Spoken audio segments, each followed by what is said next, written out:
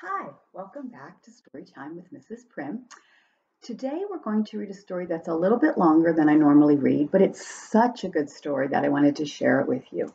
And it's called The Red Bicycle, the extraordinary story of one ordinary bicycle.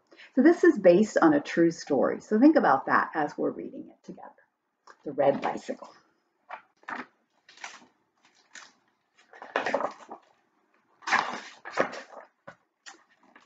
Leo wipes the sweat of his brow. It's a hot day, and he's almost finished mowing the neighbor's lawn. Today he will meet his goal.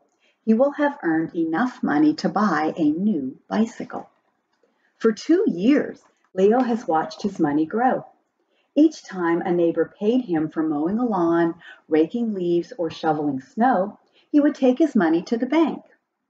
Then he would stop at the bike shop across the street to visit his bicycle. It had 18 gears and a suspension fork and is painted bright red. Leo finishes mowing and collects his pay, then runs to the bank. There, he withdraws the money for his bicycle. He hurries to the bike shop and watches while the owner counts out the money. Congratulations, Leo, she says. She knows how much he has wanted this bicycle. Leo names the bicycle Big Red. He rides Big Red to school. He rides it to the swimming pool. He rides it to soccer practice. Leo rides Big Red everywhere. Leo wants Big Red. Oh, skipped a page here. Leo is getting older and is growing. He grows so tall one summer that his knees hit Big Red's handlebars. It is time for a new bicycle. But Leo loves Big Red. Even though the bicycle is a few years old, he has taken good care of it, and Big Red looks almost brand new. He wheels Big Red into the garage feeling a little sad. He walks to school thinking about what to do with the bike. Leo wants to give Big Red to someone who will love the bicycle as much as he does, but everyone he knows already owns a bike. After school, Leo walks to the bike shop. The owner asks where Big Red is, and Leo explains that he has outgrown the bicycle. He needs a bigger bike, he says, and a new home for Big Red. I have an idea for you, she says, pointing to this poster. An organization in town is collecting bicycles. They send the bikes to a faraway country, to people who can't afford a bicycle, but need one for transportation. Right there, Leo decides to donate Big Red it will have a new home where it is really, really needed. Leo wants Big Red to look its best for its trip. He washes the frame until it gleams. He oils the chain. He puts on new hand grips. His father takes a photo of Leo working on Big Red. When he's finished, Leo hops on the too small bicycle and rides to the shipping container where Big Red will start its new journey. This is the pair's last ride together. The shipping container surrounded by bikes and by people there to help out. One man demonstrates how to take apart a bicycle for packing. Leo gets right to work. He grabs a bike and unhooks the front brake. Then he removes the front tire and pedals. He loosens the handlebars and lowers the seat. When the, with the man's help, he ties the front wheel to the frame and the pedals under the seat. Leo works on so many bikes, he loses count. Finally, only one bicycle remains, Big Red. Leo takes apart his bicycle. He places it in the container. It is one of 462 bikes, spare parts, tools, knapsacks, and soccer balls on their way to Africa. Leo feels a lump in his throat as the door closes. There's the shipping van. The driver hops into the cab and toots his horn and everyone claps and cheers. Leo waves as the truck pulls away. Goodbye, Big Red. Have a great adventure. At the shipping port, a crane loads the container onto a big freighter. There it is. The red bicycle is squeezed against the container door. It is secure for now, but the ocean can be rough, especially if there are storms. The ship leaves the port and heads south. Containers shift as the wind whips up and the waves get higher. Near South America, the ship turns and heads across the Atlantic. straight across the Atlantic towards West Africa, hugging the coast until it reaches Ghana. After 29 days, the red bicycle reaches land. A crane picks up the container and loads it onto a truck. As the truck lumbers north, the container rocks back and forth on the rough road. Big Red bangs against the door each time the truck dips into a pothole and back out again. Finally, the truck stops at the, at the city of Ku Dug. Let me try that again. Finally, the truck stops at the city of Koudougou in Burkina Faso, but Big Red's journey is not over. The bicycles are unloaded and reassembled. Their frames glint in the African sun. An organization that helps widows and orphans will distribute the bicycles to families who need them. Bicycles save time and effort. Children ride them to school, and older folks use them to transport goods to market. Awa Sawadogo is a grandmother who is raising three of her grandchildren. She and her granddaughter, Alisetta, are waiting for a bicycle. Alisetta gazes at the bicycles. She spots a green bike with knobby tires and wide upright handlebars. It looks too big. Her eyes flit from bicycle to bicycle until she sees a bright red frame. Perfect. She can see herself breezing to market on the red bicycle. One by one, the new owners claim their bicycles. Alisetta locks her eyes on Big Red, hoping no one else will wheel it away. Finally, her grandmother's name is called. Only a few bicycles remain. Big Red leans against the container. Alisetta rushes over to it. This one, she says. In the bush taxi on the way back to their village, Alisetta oh, worries. She has never ridden a bicycle before. Her grandmother pats her hand.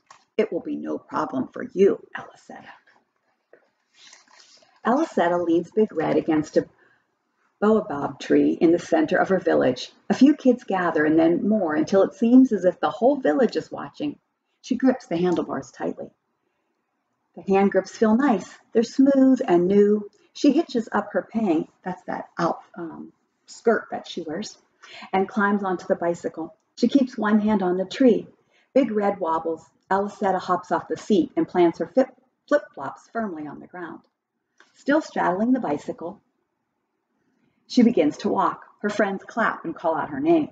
Her friend, Samira, offers to push her. Alisetta climbs up onto the seat and they are off. Samara jogs alongside Big Red, holding onto its seat. Then she takes her hand away. The bicycle slows down, wobbles, and Alisetta tumbles off. You need to go faster, Samara says. This time, when Samara lets go, Alisetta pedals hard. But Bike is better behaved now. Alisetta leaves Samira behind and pedals so fast she is soon past the last house in the village. She has done it. She stops and turns, sailing back into the village and riding circles around the cheering kids. Awa comes to watch. She cheers along with the kids and claps to Alisetta as she sweeps by on her new bicycle.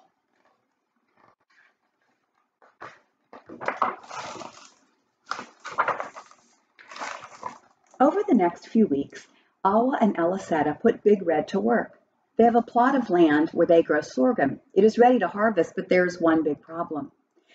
The birds often get to the sorghum before them. With Big Red, Alisetta can ride to the field early every morning to scare off the birds. Thanks to Big Red, they have more sorghum than usual to harvest.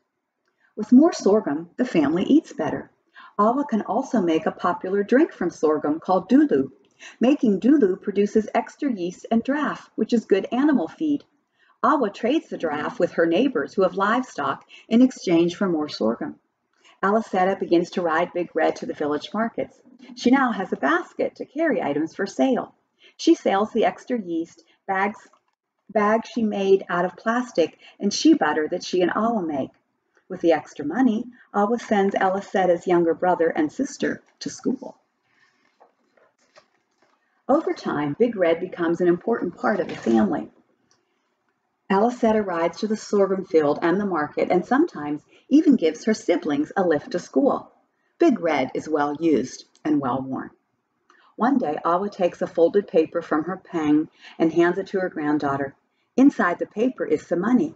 Awa explains that she has been saving for another bicycle. With two bicycles, we could earn even more, she explains. The next day, Alisetta takes a bush taxi to Koudougou. She walks through the streets looking at bikes for sale. She stops at a shop where a mechanic is fitting pedals onto a bright green bicycle. It has a wire basket attached to the front. It looks just the right size. She clears her throat. the mechanic looks up and smiles. Looking for a bicycle?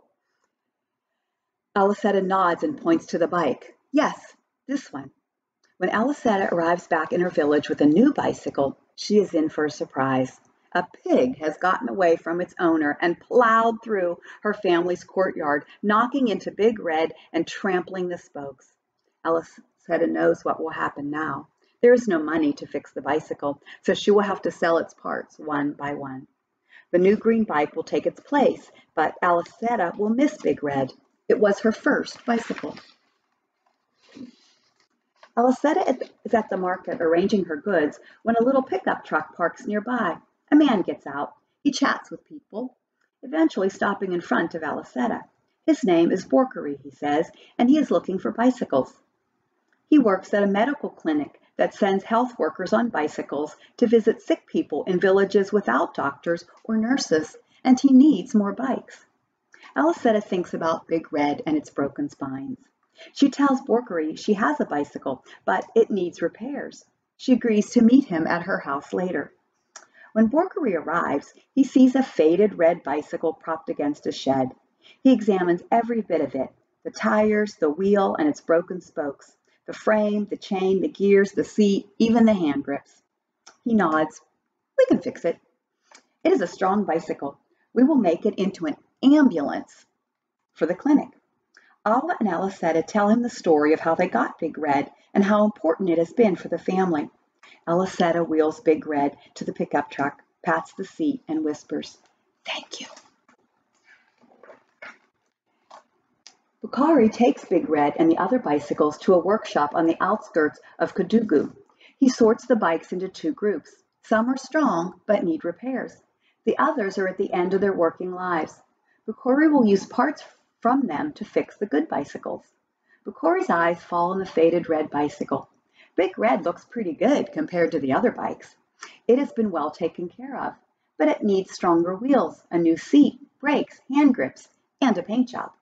He picks up a wrench and gets to work. After a few hours, he is done. Big Red looks almost new. Now, Boukary thinks, let's turn you into an ambulance. With a metal hoop and nail, Boukary attaches a trailer to the bicycle. The trailer has the same tough wheels as the bicycle. On the trailer is a stretcher, popped, propped up so a person can see out. A safety belt keeps the patient safe during the ride. There is also a canopy to keep off the rain and the sun. Big Red is ready for work. The sun is coming up and her winds a colorful scarf around her head, slips on her flip-flops, and walks across the courtyard. Her mother is already pounding grain. Haridata smiles, waves, and calls, See you later. The young woman is off to the health clinic where she volunteers. Haridata strides down the road. She wants to be on time. Today will be her first visit to a village on the new bicycle ambulance. A fine red dust coats everything. When she arrives at the clinic, she pauses to brush off the dust from the red bicycle ambulance parked out front. Inside the clinic, an older man is loading bandages and medicines into a medical bag. He shakes Haridata's hand. How are you? How is your family? What's new? Haridata loads the medical bag onto the back of the bicycle. She adds some bottled water and a blanket. As she pedals to the village, she sees other bicycles pass by. One is carrying a load of something so big she can't even tell what it is. Another rider has three children clinging to it. And another has a little goat tucked into a basket on the back. After riding for half an hour, Haridata arrives at the village. She hears the chatter of voices before she sees a crowd of people. She jumps off the bicycle, leans it against a tree, and wiggles her way through the crowd. A young boy lies on the ground, his head on a woman's lap. His eyes are scrunched shut and he is very quiet. The woman speaks softly to the boy, patting his head. No one wants to move him. He's in pain and his leg lies at an awkward angle. It is broken. Haridata speaks up. She explains who she is and points to the bicycle ambulance. Two men help her remove the portable stretcher.